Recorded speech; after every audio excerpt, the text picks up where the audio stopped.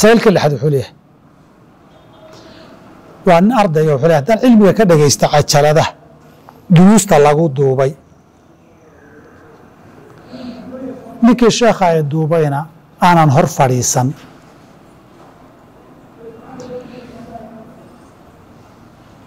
Asna aani ogeyn ma dhihi karaa cilmiga waxaan ka qaatay sheekh hebel.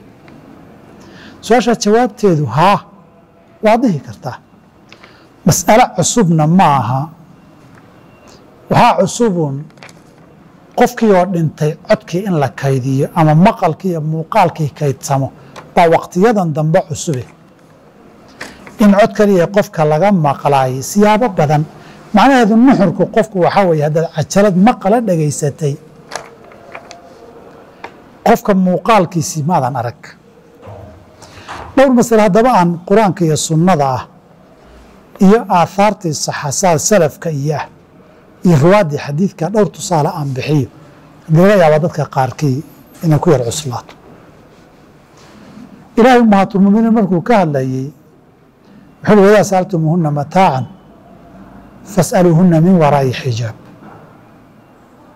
Xijaab gadaashii ka weydiiya qofka aad xijaab gadaashii ka weydiisay haddii codkiisa la garanayaay wuxuu kuu sheegay in la qaadan karo bay aayaddu daliil u tahay.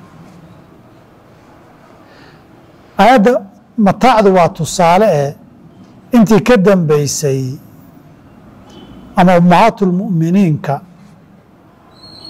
cilmiga saxaabada aan arxaamtooda ahayn maxaarimtooda ahayn weydiin jireen min waraa'i xijaab bay ka weydiin jireen marar badan marka taa in la ogol yahay baad garan. Waxaa kale markii saxaabiga tacriifkiisa laga hadlayo man ra'a nabiya lama dhihin waa la daciifiyey. Laqiya nabiya baa la yidhi. Oo saxaabada waxaa lagu daro nabiga xadiid ka wariya dadaan arag. Sidii ibnu ibnu maktuum oo indhool ahaa ibnu ibnu maktuum indhool buu ahaa muusan arkaynin nabiga laakiin codkiisuu maqlayay. Cajaladdanna codkii baad maqashay aahaarta amada ruwaadana imaamu nasaa'i sunankiisa haddaad akhrido iyo kayrkiiba way dhici jirtay ardaydu marna majliskaa ka buuxsami jiray. Markaasay almustamli waxa la yidhaahda samayn jireen. Ardaydii makarafoonna ma jirin. Xalqadiina aad bay u badan tahay. Sheekha codkiisuna ma wada gaaro. Marka isaga uu fadhiistay xadiidka sheego. Halkaa dhexda aan nin mustamli la yidhahdo dadka u sii yeeriyo cod dheer baa sii tabin jiray. Xalqadda laba kun saddex kun shan kun oo qof ay fadhiyaan. Inay sheekha wejigiisa wada arkin adbu waa garan kartaa.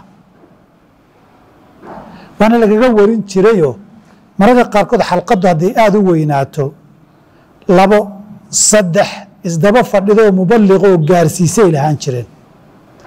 Waana masalada mubaliqa ninka salaada tukinaya imaamka cid ka gaadhsiinayso codkiisa lagu kalsoonaan karadii wey codkaan baad maqlaysa adigu. Imaamkaa ku xiranta allah akbar allah codun baad maqashay. Imaamu nasaa'i tusaale haddaan mucayana bixinno kale fii sunanihi aad wuxuu uga wariyaa sheekhiisa alxaari ibni miskiin.